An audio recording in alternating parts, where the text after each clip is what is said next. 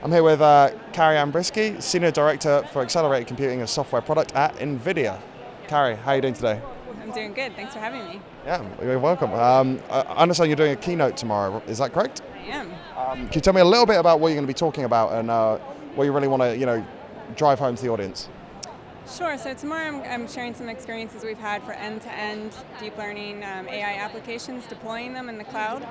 Um, you know, last year I was actually came and talked, and we had just launched um, Volta V100. And at the time, when I asked people to put their hand up if they'd heard about it, not many people did. And hopefully this year is a big difference because we're in every major cloud provider, um, every computer maker, you know, ships Voltas. And uh, last year I also talked about just training and inference libraries and, and um, kind of architecture specific libraries for our chips. But here I'm going to kind of up level the picture and just kind of share some experience that we've had taking AI neural networks from research and deploying them into the cloud. And just kind of a little bit of DevOps approach. What was the perspective you kind of gained from working with AI? Wow, um, just actually being humbled at how like the amount of great people that I work with and the, actually the rate and the pace which technology is advancing. Um, you know, I was actually checking the numbers, and when I first started NVIDIA, we had just launched uh, our first inference chip, the P4, and our first uh, TensorRT, which is our runtime library for inference.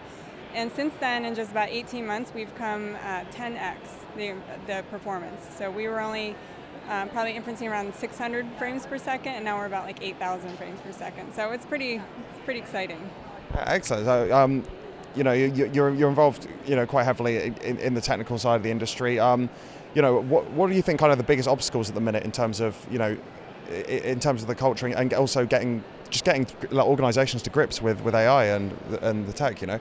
Yeah, um, I hate to say there are a lot of obstacles because you know AI is still young, but it's also mature. I kind of like the analogy is like it's a 16-year-old kid about to drive. You know, it's like you can put it on the road. Literally, you can put it on the road. Um, but you know, just the mature. Like it's such, since it's like going forward so fast at such a rapid pace, just keeping up. Um, the, having the tools be able to keep up, having your continuous integration, continuous delivery be able to stabilize is actually kind of been hard. I think for enterprises to be able to adopt AI uh, in, in a stable way.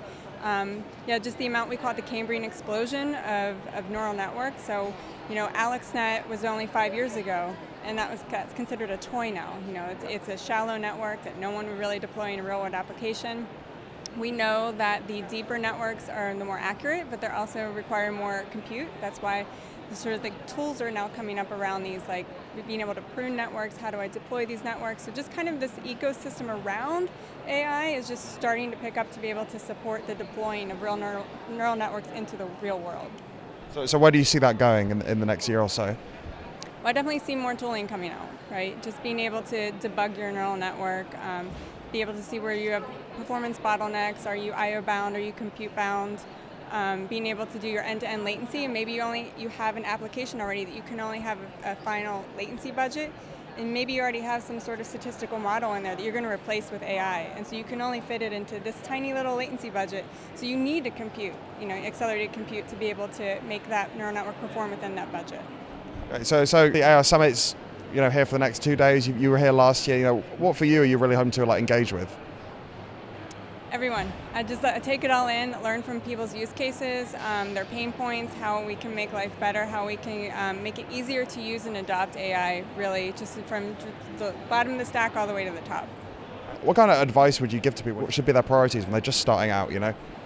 Maybe the priorities, just learn. Um, number one, like, you know, we always try and point people to our Deep Learning Institute, which is a really great start. I mean, I, you know, I took some of the Coursera um, courses when I first started, and just being yeah, oh yeah, of course, just being able to grasp it and understand, take as many classes, read, and just dive in. You know, don't kind of sit and wait. Just, my advice is just kind of start diving, roll up your sleeves, and get your hands dirty right away, so that you can learn what's right for you and your enterprise. Fantastic. Well, Kari, thanks for talking to me today.